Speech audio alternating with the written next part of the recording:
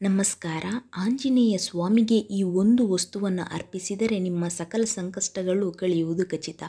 ಆ ವಸ್ತು ಯಾವುದು? ಹಾಗೂ ಆ ವಸ್ತುವನ್ನು ನೀಡಬೇಕಾದರೆ ನೀವು ಪಾಲಿಸಲೇಬೇಕಾದ ನಿಯಮಗಳು ಏನು ಎಂಬುದರ ಸಂಪೂರ್ಣ ಮಾಹಿತಿಯನ್ನು ಈ ವಿಡಿಯೋದಲ್ಲಿ ನೀಡಲಾಗಿದೆ. ನೀವಿನ್ನೂ ನಮ್ಮ ಡಿವೈನ್ ಮೀಡಿಯಾ ಚಾನಲ್ನ ಸಬ್ಸ್ಕ್ರೈಬ್ ಮಾಡಿಕೊಂಡಿಲ್ಲ ಅಂದರೆ ಈ ಕೂಡಲೇ ಸಬ್ಸ್ಕ್ರೈಬ್ ಮಾಡಿಕೊಂಡು ಪಕ್ಕದಲ್ಲೇ ಕಾಣುವ ಬೆಲ್ಲೈಕನ್ ಪ್ರೆಸ್ ಮಾಡೋದ್ರಿಂದ ನಾವು ಹಾಕುವ ಎಲ್ಲ ಮಾಹಿತಿಗಳು ನಿಮ್ಮ ಫೋನ್ಗೆ ಉಚಿತವಾಗಿ ಬರುತ್ತೆ. ಹೌದು, ಆಂಜನೇಯ ಸ್ವಾಮಿಯು ಮುಕ್ಕೋಟಿ ದೇವತೆಗಳ ಆಶೀರ್ವಾದ ಪಡೆದಿರುವಂತಹ ಅದೃಷ್ಟವಂತ ಹಾಗೆಯೇ ಆತನನ್ನು ಯಾರು ಪೂಜೆ ಮಾಡ್ತಾರೋ ಅವರ ಸಂಕಷ್ಟವನ್ನು ಕಳೆಯುವಂಥ ಶಕ್ತಿ ಇರುವಂಥ ದೇವ ಆಂಜನೇಯ ಸ್ವಾಮಿ. ಸಾಕ್ಷಾತ್ ದೇವರಾದಂತಹ ಶ್ರೀರಾಮಚಂದ್ರನ ಸಂಕಷ್ಟವನ್ನೇ ಕಳೆದಂತಹ ಶಕ್ತಿಶಾಲಿ ಈ ಹನುಮ. ಈ ಆಂಜನೇಯ ಸ್ವಾಮಿಗೆ ನೀವು ವೀಳ್ಯದೆಲೆ ಆರವನ್ನು ಅರ್ಪಿಸೋದ್ರಿಂದ ನಿಮ್ಮ ಜೀವನದಲ್ಲಿರುವಂತಹ ಕಷ್ಟಗಳು ಕಡಿಮೆ ಆಗುತ್ತದೆ. ಹಾಗೆಯೇ ನಿಮ್ಮ ಜೀವನದಲ್ಲಿ ಏನೇ ಸಮಸ್ಯೆ ಇರಲಿ, ದಾಂಪತ್ಯ ಕಲಹ, ಹಣಕಾಸಿನ ಸಮಸ್ಯೆ, ಸಾಲ ಬಾಧೆ ಹಾಗೆ ಮಾನಸಿಕ ಕಿರಿಕಿರಿ ಕೆಲಸದಲ್ಲಿ ಉನ್ನತಿ ಆಗ್ತಾ ಇಲ್ಲ. ಎಷ್ಟೇ ಕೆಲಸ ಮಾಡಿದ್ರು ನಮಗೆ ಹಣ ಕೈಗೂಡ್ತಾ ಇಲ್ಲ ತುಂಬಾ ಅವಮಾನ ಆಗ್ತಾ ಇದೆ. ಜೀವನದಲ್ಲಿ ಜೀವನನೇ ಬೇಡ ಅಂತ ನೀವು ಅಂದ್ಕೊಂಡಿದ್ರೆ ನೀವು ತಪ್ಪದೆ ಆಂಜನೇಯ ಸ್ವಾಮಿಗೆ ವಿಳ್ಯದೆಲೆ ಹಾರವನ್ನು ಅರ್ಪಿಸೋದ್ರಿಂದ ನಿಮ್ಮ ಜೀವನದಲ್ಲಿ ಶಾಂತಿ, ನೆಮ್ಮದಿ ನೆಲೆಸೋದು ಖಚಿತ. ಹಾಗಿದ್ದರೆ ಈ ವಿಡಿಯೋದಲ್ಲಿ ನೀವು ನೋಡಬೇಕು, ವಿಳ್ಯದೆಲೆ ಹಾರವನ್ನು ಯಾವುದೇ ಕಾರಣಕ್ಕೂ ಬೇರೆಯವರು ಕಟ್ಟಿದಂಥ ಹಾರವನ್ನು ನೀವು ದೇವರಿಗೆ ಅರ್ಪಿಸಬೇಡಿ. ನೀವೇ ಸ್ವತಃ ವೀಳ್ಯದೆಲೆ ಹಾರವನ್ನು ಮಾಡಿ ಅರ್ಪಿಸಬೇಕು. ಹಾಗೆ ವೀಳ್ಯದೆಲೆ ಹಾರವನ್ನು ಮಾಡಬೇಕಾದರೆ ಯಾವ ನಿಯಮವನ್ನು ಪಾಲನೆ ಮಾಡಬೇಕು ಎಂಬುದನ್ನು ಸಂಪೂರ್ಣವಾಗಿ ಈ ವಿಡಿಯೋದಲ್ಲಿ ತಿಳಿಸಲಾಗಿದೆ. ನೀವು ಈ ವಿಡಿಯೋನ ಗಮನಿಸೋದ್ರಿಂದ ನಿಮಗೆ ಖಂಡಿತವಾಗ್ಲೂ ವಿಳ್ಯದೆಲೆ ಹಾರವನ್ನು ಈಸಿಯಾಗಿ ಮನೆಯಲ್ಲೇ ಮಾಡಿ ದೇವರಿಗೆ ಅರ್ಪಿಸಿ ನಿಮ್ಮ ಜೀವನದಲ್ಲಿರುವಂಥ ಸಕಲ ಸಂಕಷ್ಟವನ್ನು ಕಳೆದುಕೊಳ್ಬಹುದು. ವಿಳ್ಯದೆಲೆ ಹಾರಗಳಿಗೆ ನಮ್ಮ ಹಿಂದೂ ಪುರಾಣದಲ್ಲಿ ಮಹತ್ವವಾದ ಸ್ಥಾನವಿದೆ. ಒಮ್ಮೆ ಆಂಜನೇಯ ಸ್ವಾಮಿಯು ಸೀತಾಮಾತೆಯನ್ನು ಅಶೋಕವನದಲ್ಲಿ ಭೇಟಿಯಾದಾಗ ಸೀತಾಮಾತೆಗೆ ಕೃತಜ್ಞತೆ ಸಲ್ಲಿಸಲು ಆಂಜನೇಯ ಸ್ವಾಮಿಗೆ ನೀಡಲು ಯಾವುದೇ ಪುಷ್ಪಗಳು ದೊರೆಯದ ಕಾರಣ ಆಗ ಸೀತಾಮಾತೆಯು ಈ ವೀಳ್ಯದೆಲೆಯನ್ನು ತೆಗೆದುಕೊಂಡು ಹಾರವನ್ನಾಗಿ ಮಾಡಿ ಆಂಜನೇಯ ಸ್ವಾಮಿಗೆ ಅರ್ಪಣೆಯನ್ನು ಮಾಡಿದರು ಎಂದು ನಮ್ಮ ರಾಮಾಯಣದಲ್ಲಿ ಉಲ್ಲೇಖವಿದೆ.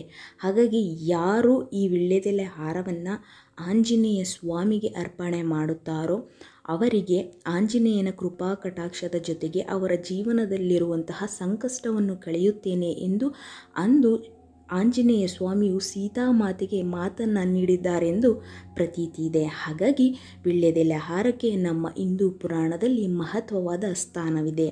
ಇನ್ನು ಈ ವಿಳ್ಯದೆಲೆ ಹಾರವನ್ನು ನೀವು ಮಾಡಬೇಕಾದ್ರೆ ಯಾವುದೇ ಕಾರಣಕ್ಕೂ ಅದರ ಜೊತೆ ಪುಷ್ಪ ಅಥವಾ ಯಾವುದಾದ್ರೂ ಹೂವುಗಳನ್ನು ಜೋಡಣೆ ಮಾಡಿ ಹಾರವನ್ನು ಮಾಡಬೇಡಿ. ಯಾವುದೇ ಕಾರಣಕ್ಕೂ ಆ ತಪ್ಪನ್ನು ಮಾಡಲಿಕ್ಕೆ ಹೋಗಲೇಬೇಡಿ.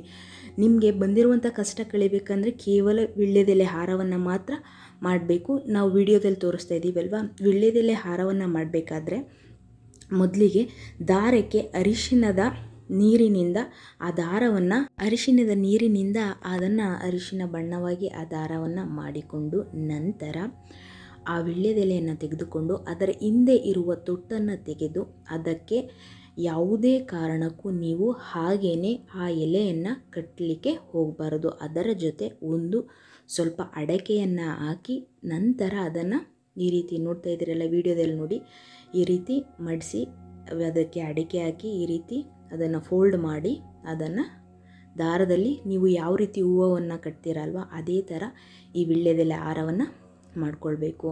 ಹಾಗೆಯೇ ನೀವೇನಾದರೂ ವಿಳ್ಯದೆಲೆ ಹಾರವನ್ನು ಮಾಡಬೇಕಾದ್ರೆ ಕೆಲವೊಬ್ರು ಏನು ಮಾಡ್ತಾರೆ ಅಂದರೆ ಅಲಂಕಾರಿಕವಾಗಿ ಅಥವಾ ಚೆನ್ನಾಗಿ ಕಾಣಲಿ ಅನ್ನೋ ಉದ್ದೇಶದಿಂದ ಅದಕ್ಕೆ ಗುಲಾಬಿ ಹೂವು ಅಥವಾ ಯಾವುದಾದ್ರೂ ಒಂದು ಸೇವಂತಿಗೆ ಹೂವನ್ನು ಇಟ್ಟು ಈ ವಿಳ್ಳೆದೆಲೆ ಹಾರವನ್ನು ಮಾಡ್ತಾರೆ. ಯಾವುದೇ ಕಾರಣಕ್ಕೂ ಆ ತಪ್ಪನ್ನು ಮಾಡಲಿಕ್ಕೆ ಹೋಗಬೇಡಿ. ಸೀತಾಮಾತೆಯು ರಾಮಾಯಣದಲ್ಲಿ ಅವರು ಯಾವುದೇ ಪುಷ್ಪ ದೊರೆಯದ ಕಾರಣ ವಿಳ್ಳೆದೆಲೆ ಹಾರವನ್ನು ಮಾತ್ರ ಆಂಜನೇಯ ಸ್ವಾಮಿಗೆ ಅರ್ಪಣೆಯನ್ನು ಮಾಡಿರ್ತಾರೆ. ಹಾಗಾಗಿ ನೀವು ಅಷ್ಟೇ ಯಾವುದೇ ಕಾರಣಕ್ಕೂ ಹೂವು ಅಥವಾ ಬೇರೆ ಏನಾದರೂ ಡೆಕೋರೇಷನ್ ಆಗಿ ಮಾಡಲಿಕ್ಕೆ ಹೋಗಬೇಡಿ. ಈಗ ಯಾವ ರೀತಿ ನಾವು ತೋರಿಸಿದ್ದೀವಿ ಅದೇ ರೀತಿ ನೀವು ಮಾಡೋದ್ರಿಂದನೇ ತುಂಬಾ ಒಳ್ಳೆಯದಾಗುತ್ತೆ ಜೀವನದಲ್ಲಿ ಏನಾದರೂ ಸಾಂಸಾರಿಕ ಕಲಹ ಏನೇ ಇದ್ರೂ ಪರಿಹಾರ ಆಗುತ್ತೆ ನೋಡ್ತಾ ಇದ್ದೀರಲ್ಲ. ಸೊ ಇದನ್ನು ದೇವಸ್ಥಾನಕ್ಕೆ ತೆಗೆದುಕೊಂಡು ಹೋಗಿ ಅದರ ಜೊತೆ ಏನೇನು ಹಣ್ಣು, ಕಾಯಿ ಹಾಗೆ ಎಲ್ಲವನ್ನು ತೆಗೆದುಕೊಂಡೋಗಿ ಆಂಜನೇಯ ಸ್ವಾಮಿ ದೇವಸ್ಥಾನಕ್ಕೆ ಶನಿವಾರ, ಮಂಗಳವಾರ ನೀಡಬಹುದು. ಅಥವಾ ವಿಶೇಷವಾಗಿ ಬುಧವಾರ ಸಹ ನೀವು ನೀಡ್ಬೋದು ಅಥವಾ ಅಮಾವಾಸ್ಯೆ, ಹುಣ್ಣಿಮೆ ದಿನವೂ ಸಹ ನೀವು ನೀಡಬಹುದು. ಆಂಜನೇಯ ಸ್ವಾಮಿಗೆ ಈ ವೀಳ್ಯದೆಲೆ ಹಾರವನ್ನು ನೀಡಬೇಕಾದ್ರೆ ಮನಸ್ಸಲ್ಲಿ ನಿಮ್ಗೆ ಯಾವ ಒಂದು ಕೆಲಸ ಆಗಬೇಕು ಅದನ್ನ ಸಂಕಲ್ಪ ಮಾಡಿ ನೀಡೋದ್ರಿಂದ ತುಂಬಾ ಒಳ್ಳೆಯದಾಗುತ್ತೆ ಮತ್ತಷ್ಟೇ ಇಂತಹದೇ ಮಾಹಿತಿಗೆ ನಮ್ಮ ಚಾನಲ್ಗೆ ಸಬ್ಸ್ಕ್ರೈಬ್ ಆಗಿ ಧನ್ಯವಾದಗಳು.